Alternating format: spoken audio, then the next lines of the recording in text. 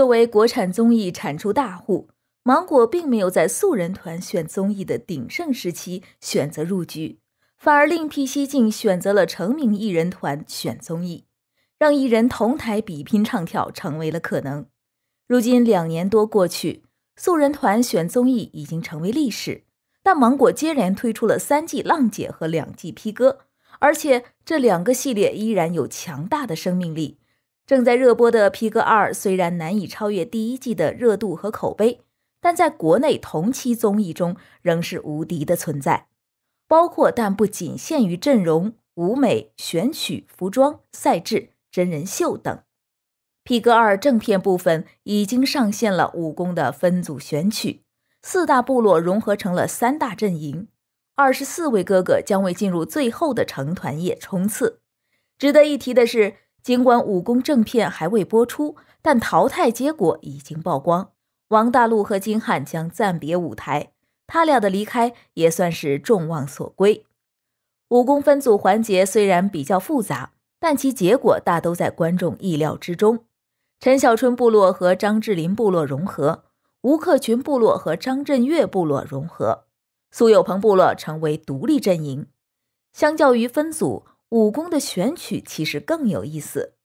三大阵营除了加分秀的合作曲目以及节目组准备的必选曲目外，还各自有一首自选曲目。从正片中已知，吴克群阵营的自选曲目是《夸父逐日》，是吴克群发行于二零二二年的新歌。苏有朋阵营的自选曲目是刘德华的《男人哭吧不是罪》。陈小春阵营的自选曲目虽然没有公布。但根据参与了现场录制的观众爆料，是陈奕迅的经典作品《浮夸》。结合目前已有的信息，笔者认为武功舞台的正片播出后，张智霖会因为《浮夸》口碑转好，而吴克群会因为《夸父逐日》败好感以及被嘲。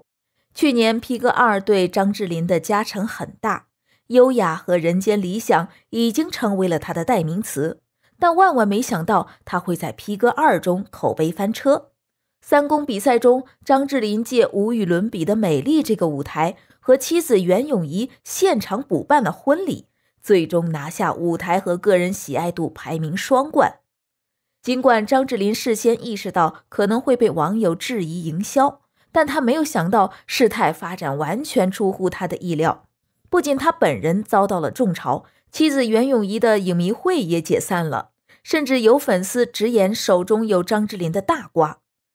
张智霖借《P 哥二》办婚礼之所以被吐槽，无外乎三点原因：其一，被质疑对队友张云龙、麦克和范世琦不公平；其二，被质疑对任贤齐部落和苏有朋部落不公平；其三，张智霖有了信任危机，因为《P 哥二》并不是他们第一次办婚礼。尽管 P 哥二弹幕中没有太多吐槽张智霖的言论，但其实包括某博、某办、某红书等在内的主流社交平台中，他的口碑已经是大跌的程度。所以说，张智霖非常需要挽回口碑，而武功的浮夸可能就有这个效果。陈奕迅的浮夸非常经典，但也非常难唱，所以我们很少看到这首歌在音乐综艺节目中被翻唱，没人能超越原唱。超越不了就会被骂。陈小春和张智霖敢选择浮夸，着实勇气可嘉。但如果单纯是唱乐舞台的话，他俩的唱功明显驾驭不了这首歌，或者说超越不了原唱。所以他们采用了唱演的方式，而且放了大招。武功分组选曲的正片中，陈小春说他和张智霖将做一件大部分哥哥不敢做的事。而这件事就是在舞台上当众剃发。根据现场观众爆料，浮夸的舞台有镜子元素。陈小春和张智霖玩得很大，前者几乎剃成了光头，后者稍微好一点。可以预见的是，武功的浮夸播出后，陈小春和张智霖的敬业精神以及对舞台的敬畏精神将成为观众们热议的焦点。所以，张智霖的口碑有望大幅回升。相较于张智霖，吴克群可能会因为武功的夸父逐日而口碑大跌。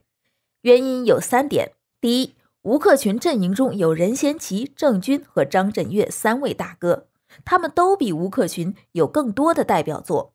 即便团队希望有一个 solo 舞台，也不该是吴克群上阵。第二，吴克群身为队长，solo 也不是不可以，但是选择发行于二零二二年的新歌《夸父逐日》不合适。观众对这首歌完全是陌生的，还不如大舌头加将军令的串烧。第三，武功将决定哥哥们能打下多少个成团席位。每个舞台超过八百分，或者积累是八百分的倍数，才能增加一个成团位。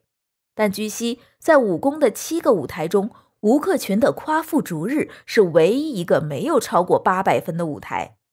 但还好，没有影响到十六个成团位这个总数。吴克群在《P 哥二》中的队长之旅其实是值得肯定的，排兵布阵、理解和利用赛制、处理队内矛盾都做得很好。但在武功 solo 这个问题上，确实处理不当。团队在商讨阵营自选曲目时，张震岳起初的想法是各自的金曲串烧。之后，郑钧提议让队长吴克群说说，原话是：“他想怎么玩，我们就怎么玩，而不是他想怎么玩，他就怎么玩。”随后，任贤齐也安慰他放轻松，我们都信你。但信他的结果是，吴克群拿出了自己的新歌《夸父逐日》。诚然，队友们都同意吴克群 solo，但队友们原本的想法是希望吴克群提一个建议，大家一起参与进去，是要我们一起玩。但是吴克群却放了自己的歌，连郑钧都看出来他想自己唱，说你想唱这首歌就唱这首歌，那其他队友们还能说什么呢？难道直说不同意吗？皮革二中的吴克群口碑其实呈现了两极分化的态势。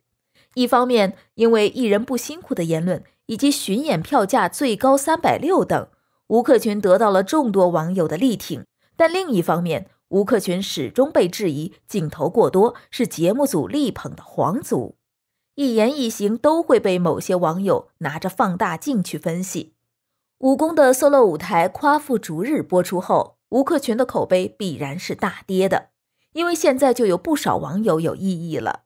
王心凌当初给吴克群打 call 时，以开玩笑的口吻劝他不要太累，不要当队长，而后者从一公到五公都是队长，得到了镜头，也遭到了质疑。如今看来，吴克群或许真的不应该当队长。好了，以上是本期的内容。如果你喜欢我们的节目，欢迎订阅、点赞、转发。感谢大家的支持。